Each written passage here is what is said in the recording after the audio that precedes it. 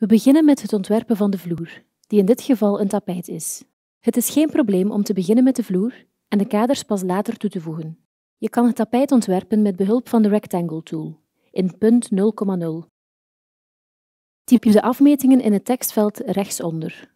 We willen dat de vloer 6 bij 3 meter is, dus we beginnen met het invoeren van 6000, gevolgd door een punt komma en dan 3000. Voer de afmetingen in door op enter te drukken. Met behulp van de push-and-pull tool in de linkerkolom kan je ook dikte toevoegen aan de vloer. Je kan dit in hetzelfde tekstveld invullen als de vloerafmetingen. Typ 30 in. Om een groep van het tapijt te maken, selecteren we alles. Klikken we met de rechtermuisknop op de vloer. En selecteren we Make Group. Een groep is een verzameling van lijnen en vlakken die bij elkaar horen en een geheel vormen. Met behulp van de sectie Materials aan de rechterkant kan je een specifiek tapijt zoeken in de sectie Carpets, Fabrics en zo verder. Ga met de Paint Bucket op het geselecteerde tapijt staan en kies voor Carpet Plush Charcoal.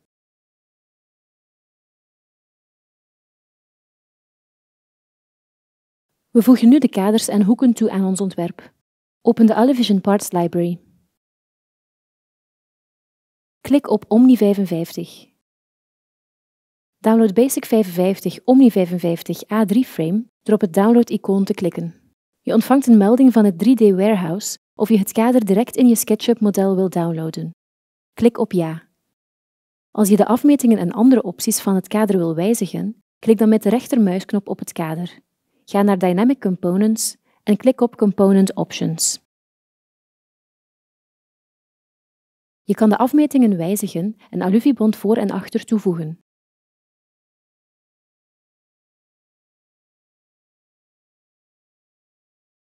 Zodra je op toepassen klikt, wordt het kader bijgewerkt.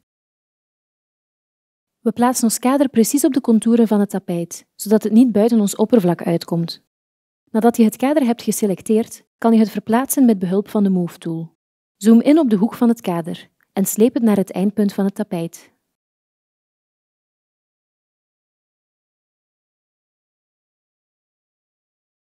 Voeg extra kaders toe door het eerste kader te kopiëren. Je kan componenten kopiëren met de Move tool en tegelijkertijd op de Control-toets te drukken.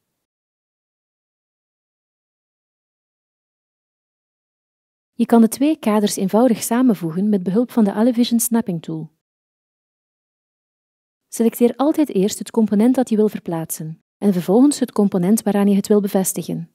Als de twee componenten nog niet zijn uitgelijnd, is het beter om twee snapping points te selecteren. Als ze al zijn uitgelijnd, hoef je slechts één punt te selecteren. Nu heb je twee kaders naast elkaar. Vervolgens gebruiken we een T-corner, die je moet downloaden uit de Allevision Parts Library. Ga naar de sectie Corners. Download T-corner A1 door op het download-icoon te klikken. Met de Component Options kan je de hoogte aanpassen en eventueel alluviebond toevoegen. In dit geval hebben we geen alluviebond nodig, omdat de achterkant van de hoek niet zichtbaar is. We kiezen dus voor None. Als je klaar bent, klik je op Apply. Je kan de T-corner uitlijnen met de andere kaders met behulp van de Alluvision Snapping Tool.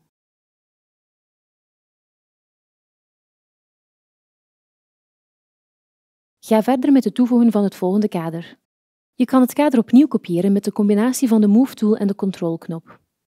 Verbind het kader met de T-corner met de Alluvision Snapping Tool.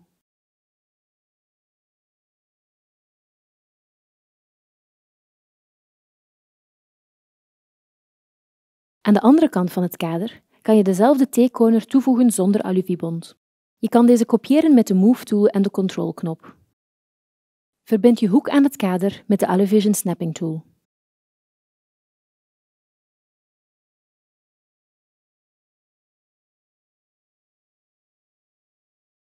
Aan de eerste T-corner voegen we nu ook een deur toe. Je kan de deur downloaden uit de Alluvision Parts Library.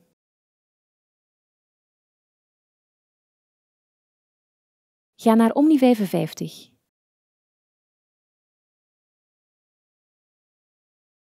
Kies Premium Door A3 en download deze door op het download-icoon te klikken.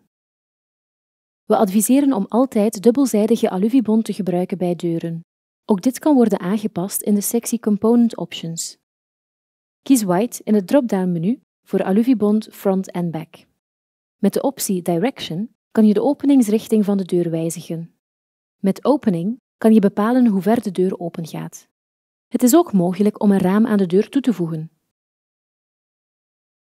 Plaats vervolgens de deur op de juiste plaats met behulp van de Aluvision Snapping Tool.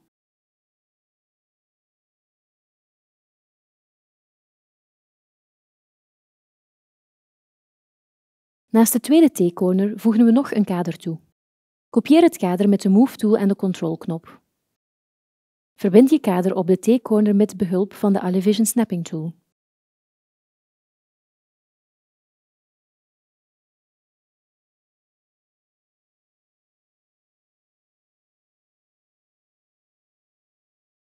Vervolgens plaatsen we een C90-corner naast het kader.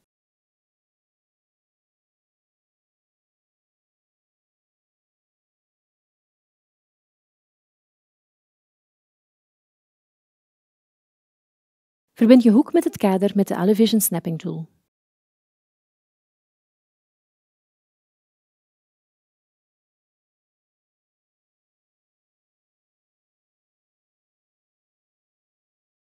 Kopieer vervolgens de C90 corner met behulp van de Move tool en de Control knop. En verbind hem met de deur met de Aluvision Snapping tool. Tussen de twee C90 corners hebben we onderaan een Omni 55 kader van 992 op 1178 mm nodig. We starten met een kader dat we al hebben gebruikt. Selecteer het kader dat je kleiner wil maken en open Component Options. Met de Component Options kan je de hoogte en breedte van het kader aanpassen.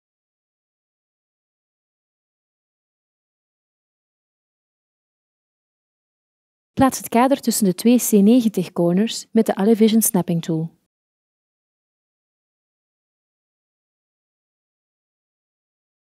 Bovenop dit Omni 55 kader willen we vier highlight tegels gebruiken.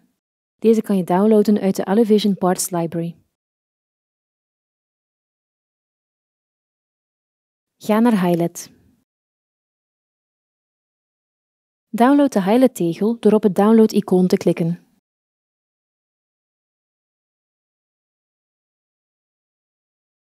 De highlight tegel kan ook gepositioneerd worden met behulp van de Aluvision Snapping Tool.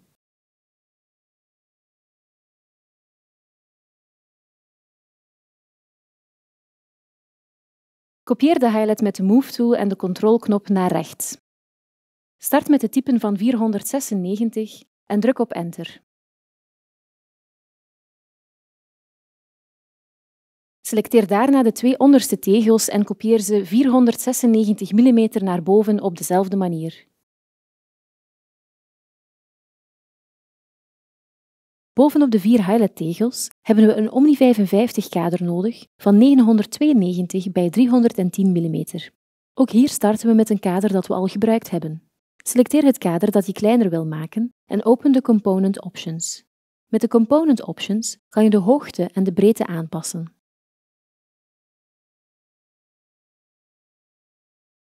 Plaats het kleine kader bovenop de highlight tegels met de Aluvision Snapping Tool.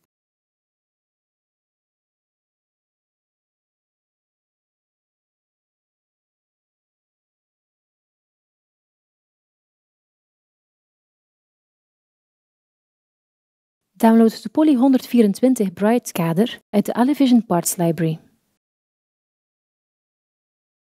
Ga naar Poly 124 Bright. Kies het Poly 124 Bright kader door op het download-icoon te klikken. Als je de Component Options opent, kan je niet alleen de afmetingen wijzigen, maar ook het type SEG infills. Je ziet dat de lichtbakafmetingen zijn ingesteld op 1984 op 2976 mm. We veranderen deze afmetingen naar 2480 op 1860 mm.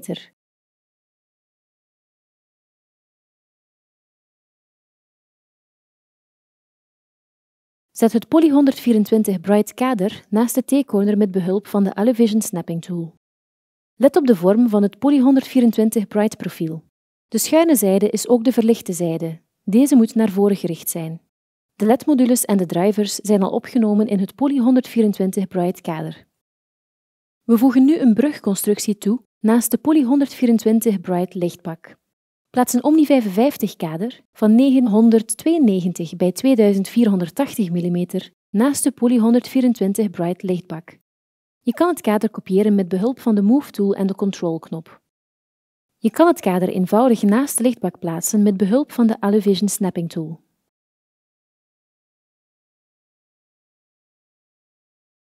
Voor de bovenkant van de boog hebben we een gebogen kader nodig, dat we ook kunnen downloaden uit de Aluvision Parts Library.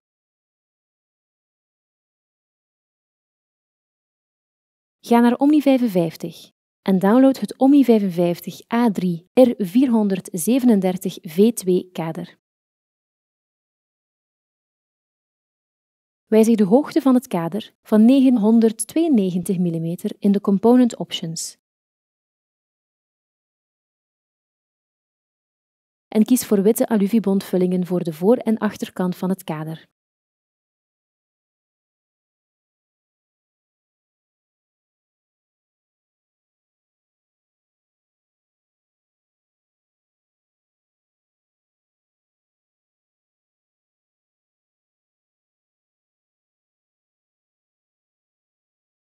Voor het plafond hebben we een Omni 55 kader nodig van 992 bij 1984 mm. Je kan een kader kopiëren met behulp van de Move tool en de Control knop. Wijzig in de Component Options de hoogte naar 1984 mm.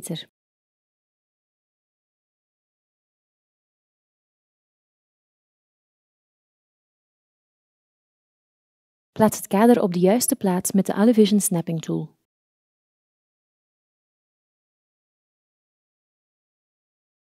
Vervolgens voegen we nog een Omni 55 A3R437 kader toe aan de andere kant van het plafond. Je kan deze kopiëren met de Move tool en de Control knop. Verbind het tweede gebogen kader aan het plafond met de Aluvision Snapping tool. Werk de brug af met een Omni 55 kader van 992 bij 2480 mm. Je kan het kader vanaf de andere kant van de boog kopiëren met de Move tool en de Control knop. Verander in de Component Options de aluvibond in wit voor en achter.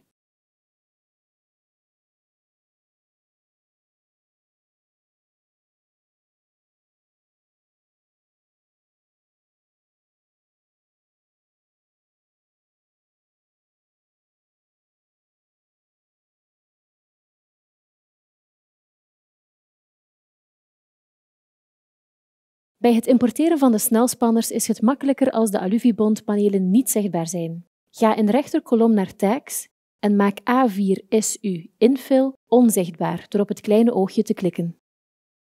Laten we starten met de QuickTightener LSD30A.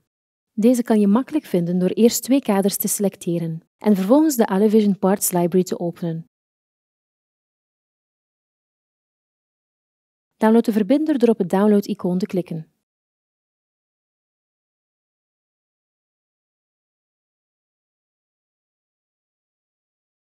Plaats de QuickTightener LSD30A met de Aluvision Snapping Tool.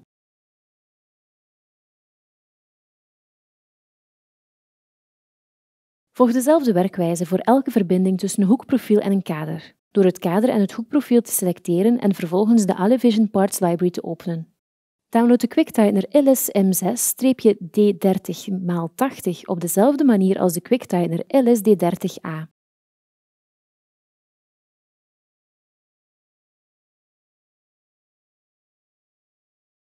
Om de deur en een hoekprofiel te bevestigen, heb je een andere verbinder nodig die QuickTightener Premium M6K heet. De eenvoudigste manier om hem te vinden is het hoekprofiel en de deur te selecteren en vervolgens de Aluvision Parts Library te openen. Je hebt er twee nodig aan elke kant van de deur.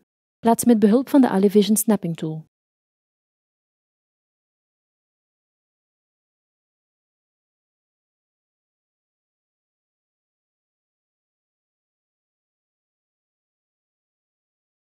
Er is ook een klik- en connect-knop.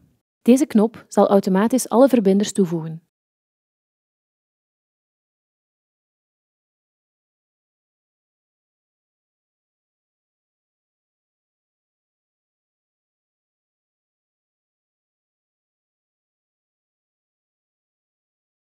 De stand heeft twee PUC-flexlampen. Ook verlichting kan je vinden in de Alluvision Parts Library in de sectie Lighting.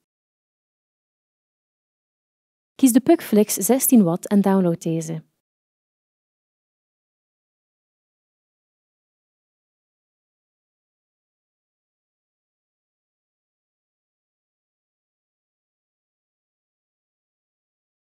Je kan hem positioneren met behulp van de Alivision Snapping Tool.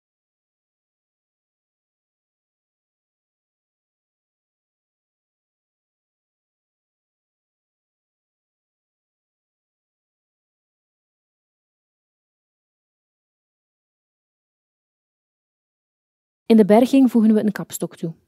Je kan deze vinden in de Alivision Parts Library in de sectie Accessories.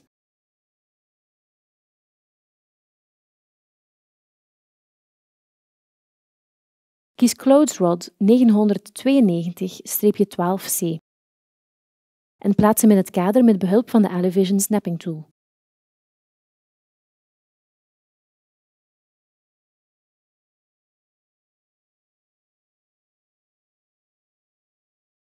Het kader uiterst links van de achterwand heeft legplanken nodig.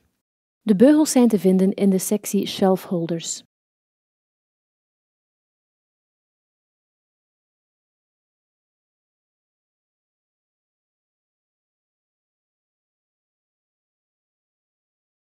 Wanneer je de Alivision Snapping Tool gebruikt om de beugels te positioneren, moet je ze vastklikken in de boringen aan de buitenkant van het frame.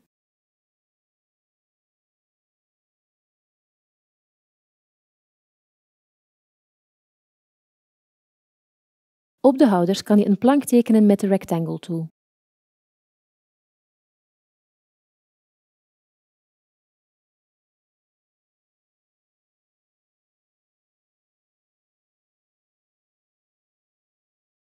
Maak de plank iets dikker met behulp van de Push-and-Pull tool. Typ 30 in het vakje rechtsonder en druk op Enter. Maak van uw plank een onderdeel door alles te selecteren. Kies vervolgens met de rechtermuisknop en selecteer Make Component.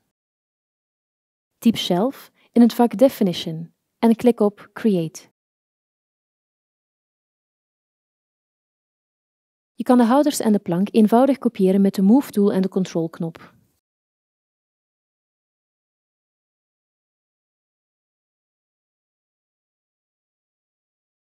Je kan ook een beeldje op de plank zetten. Ook het beeld is te vinden in de Alivision Parts Library. Het beeldhouwwerk is de Visitor, ontworpen door Guido Deleu. Met de Move Tool kan je het beeld op de legplank plaatsen.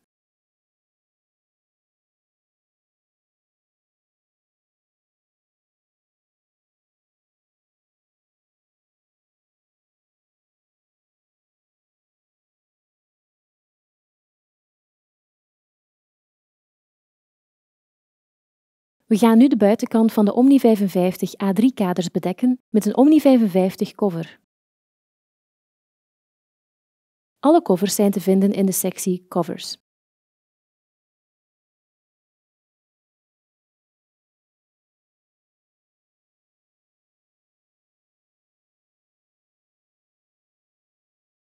Gebruik de Alivision Snapping Tool om de cover aan het kader te bevestigen.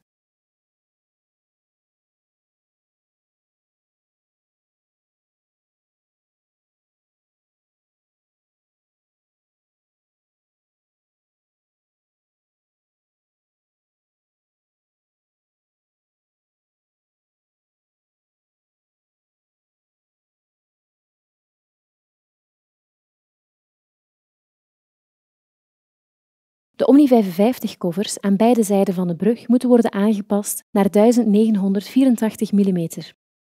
Selecteer de covers die je kleiner wil maken en open de Component Options.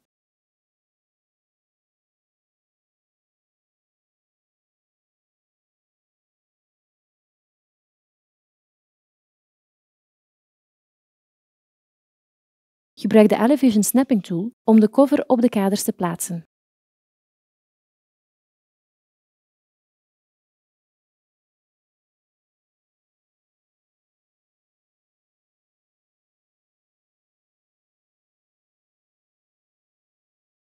Je kan de buitenkant van de gebogen kaders ook afdekken met een cover genaamd OMI 55 R437-900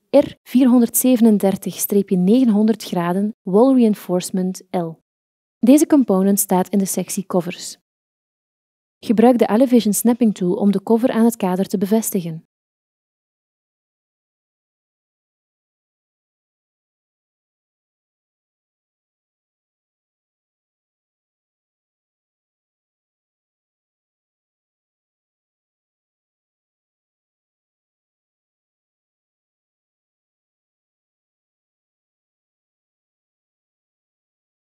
Ga naar Tags en vink de tag A4SU Infill opnieuw aan. We geven de stand een upgrade door extra textuur toe te voegen aan de Aluvibond-panelen. Eerst zal je het eerste kader uniek moeten maken, anders krijgen alle 992 mm kaders automatisch dezelfde textuur. Selecteer het kader, klik met de rechtermuisknop en selecteer Make Unique. Selecteer de aluvibond van het eerste kader. Dubbelklik twee keer totdat het oppervlak is geselecteerd. Ga dan naar File, Import. Zoek naar uw eerste textuur. Dit moet een bestand zijn dat op uw computer is opgeslagen. Bij Use Image As selecteer Texture. Zorg ervoor dat je werkt met een JPG-bestand. Selecteer eerst de linker benedenhoek en dan pas de rechter benedenhoek, of typ 992 mm in. Herhaal deze acties voor het tweede en voor het laatste kader.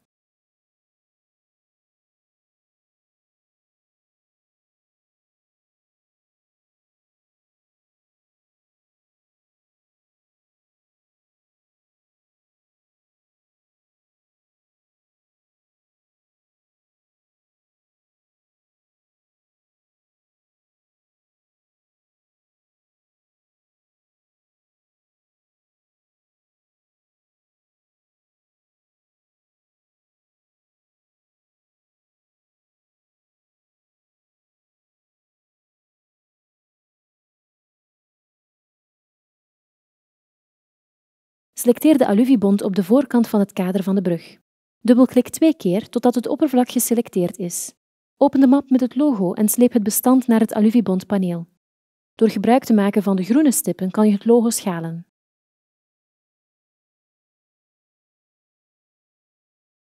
Gebruik de Move tool om het te verplaatsen.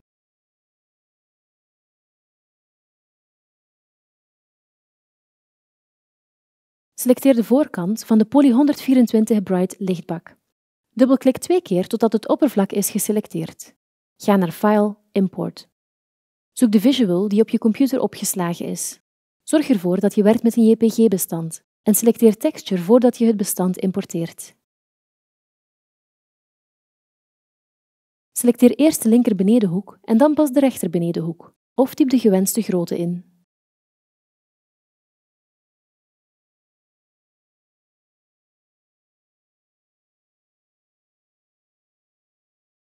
Download de looping uit de Alivision Parts Library. Je vindt deze in de map Ready-Made and Displays.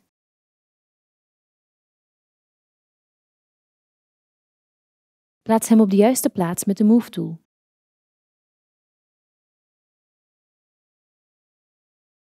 Alles wat je downloadt uit de Alivision Parts Library zit in een tag. De kolom aan de rechterkant toont de meest voorkomende tags.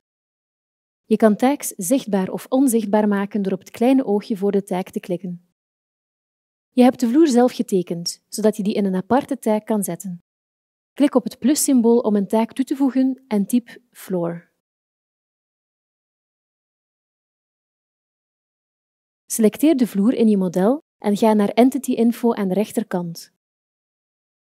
Kies Floor. Om de tag te testen, probeer je de vloer eens onzichtbaar te maken. In SketchUp kun je door het maken van scènes verschillende modelaanzichten en eigenschappen opslaan. Deze kan je vervolgens gebruiken om het model aan klanten te presenteren. Om een scène te maken, kies je de juiste hoek en pas je de stijlen, schaduwen enzovoort toe die je wenst. Verberg elke geometrie of deselecteer alle lagen die je niet wil weergeven in de scène. Al deze eigenschappen worden opgeslagen in deze specifieke scène. Het is mogelijk om ze later bij te werken of te beheren. Klik op het plusteken om een scène toe te voegen. De scène verschijnt dan in het dialoogvenster Scenes met met de standaardnaam Scene 1.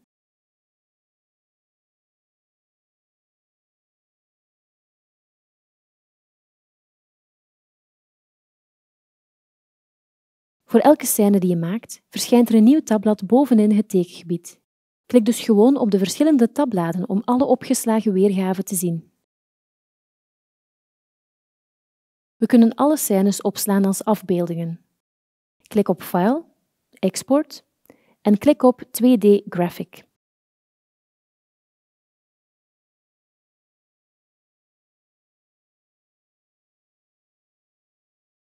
Sla de afbeelding op. Herhaal deze werkwijze voor elk ontwerp. We kunnen alle ontwerpen die we gemaakt hebben combineren tot een video. Klik op File, Export en klik op Animation om de video op te slaan.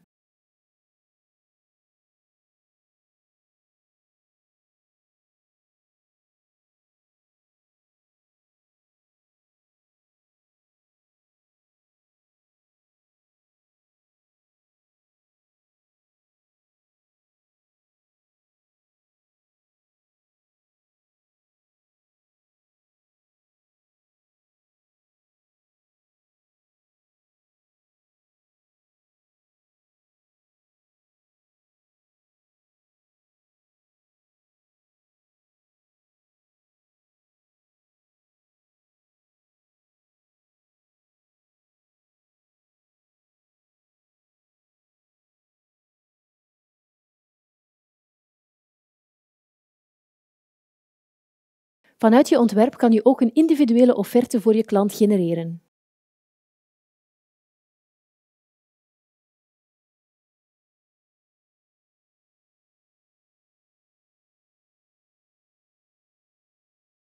Je kan het logo veranderen naar je eigen logo. Je kan je eigen kleur selecteren.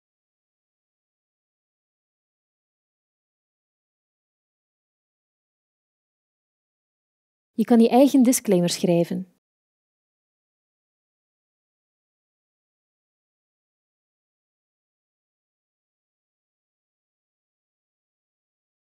Je kan de quote bewerken met je eigen klanteninformatie en eigen kortingen.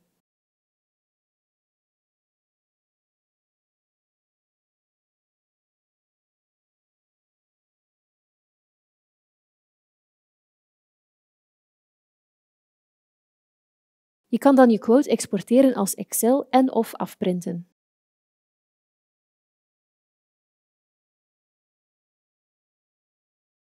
Als er geen onderdeel is geselecteerd, kan je jouw eigen persoonlijke bibliotheek bekijken en er modellen uithalen.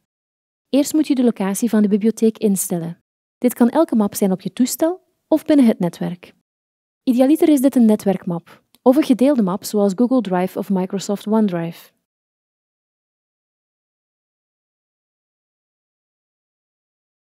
Als een onderdeel is geselecteerd, kan je het model een identiteit geven, zoals een productgroep, referentie, naam, gewicht en prijs. Er is ook een instelling waarmee je kan aangeven of een product al dan niet in de bibliotheek moet worden opgenomen.